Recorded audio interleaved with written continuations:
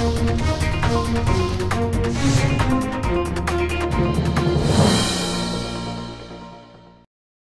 Ketua DPR RI Bambang Susatyo selaku Ketua Delegasi Parlemen Indonesia pada sidang umum AIPA di Singapura baru-baru ini mengatakan, ASEAN perlu mengambil langkah bersama dalam menghadapi berbagai gejolak, terutama dalam menyelesaikan krisis Rohingya. Bambang menambahkan Indonesia sebagai salah satu anggota ASEAN mendukung penuh terwujudnya stabilitas, penegakan hukum, rekonsiliasi secara utuh dan menyeluruh, dan keadilan sosial di seluruh wilayah demi terciptanya perdamaian dunia.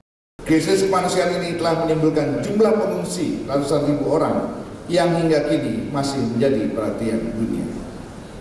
Oleh karena itu, Indonesia mendukung sepenuhnya setiap usaha untuk mewujudkan perdamaian, stabilitas, penegakan hukum, dan rekonsiliasi secara menyeluruh dan utuh, serta memastikan pembangunan yang berkelanjutan berkeadilan di seluruh wilayah kita.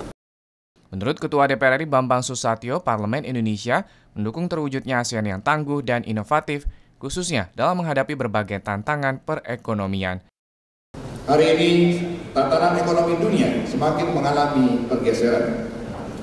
Fatalitas pasar keuangan, meningkatnya risiko sengketa perdagangan, dan pesatnya perkembangan teknologi digital menjadi tantangan tersendiri Di sinilah ketangguhan ASEAN sebagai suatu ekosistem ekonomi diuji.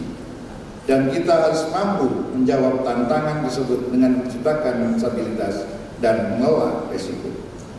Kita harus menggunakan momen pertumbuhan untuk memperbaiki kerangka kebijakan.